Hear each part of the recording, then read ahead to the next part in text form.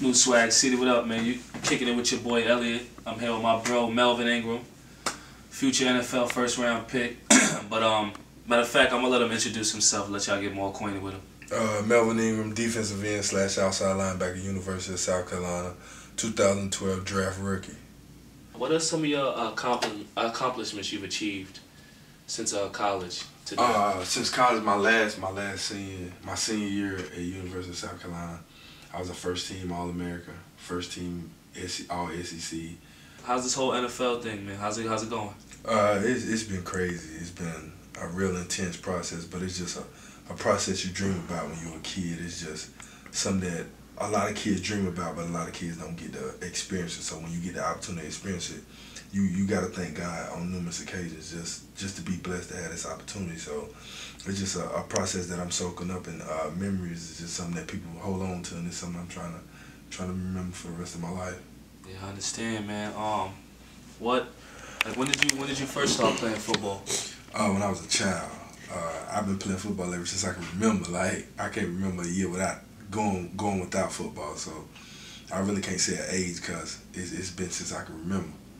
What are some of the uh, NFL players you look up to, or you know what I'm saying? You would uh, say you base your game on. Since day one, been Ray Lewis. Since day one. Yeah, Ray Lewis is a beast, man.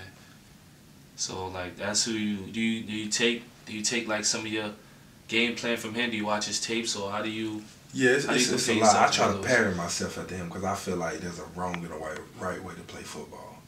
And I feel like the way he play football is the right way. He's he's a great inspirational figure on and off the field, and and him with his obsession with being around the football, he, he just got a relentless effort to be around the football on every play. And I feel like when you get that mentality on the football field, then you can be successful. Then you can call yourself a self-dominant football player. What was some like inspirations? What really inspired you to want to play football?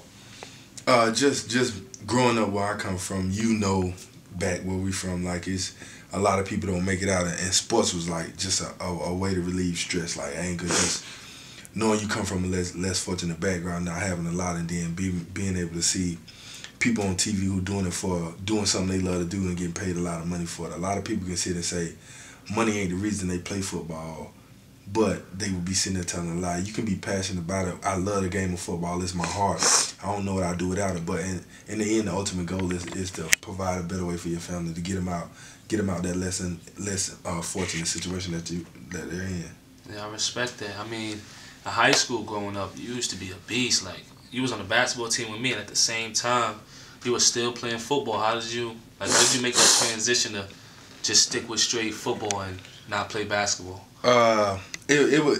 To be honest, basketball was my first love, so it it was kind of hard actually. But it's just a reality when reality set in. Like, what what could I be better at? What would I had a better opportunity of of being able to provide a better way for my family? And with a basketball it's only five people on the court, so it's it's less scholarships to go to college. It's less people to get drafted. But with football, you you got 22 people on the football field at one time, so it, it's it's a better opportunity. The odds the odds are against you in basketball. So uh, I felt like I was I was good at football, and I was fortunate enough to get a scholarship and go to college and, and made the best of opportunity. Yeah, I want to ask you about um. I remember the time when I came to visit you and you were, you was actually injured. Remember you had yeah. How, how, did that How did that affect you? Like tell them like what happened? Uh, I broke my foot playing basketball actually in the off season. And being without football for that one year of my life, it just it just make you appreciate the game a whole lot more. It just make you when you come back, it made me go that much harder. Like this is this is my life. This all I know. And when I came back, it it was just a mentality of I'm a grind no matter what, and can't nobody change that. It, that foot injury was I, I always tell people, the foot injury was one of the best things that ever happened to me because it really level headed me, made me more mature to the game, made me more mature to life. It just it just gave me a, a whole nother fire. What advice can you give to uh, people out there uh, in the community that, that actually look up to you and kids out there that want to be like you? What can you tell them? Like, just just always stay hungry, with with with a, with a great work ethic and and going to school and, and doing everything the right way and putting putting all your faith in God then no one can stop you. Just just always do things full speed no matter what you're doing. Do it like it's gonna be your last time doing it because you never know when it can be taken away from you. New Swag City, Melvin Ingram. This year's Rookie of the Year, I promise you. Defensive Rookie of the Year, I promise you. And soon to be Pro Bowler, might be an MVP.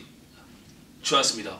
I believe in him. This is my brother right here. New Swag City. I'm out, man. Next time.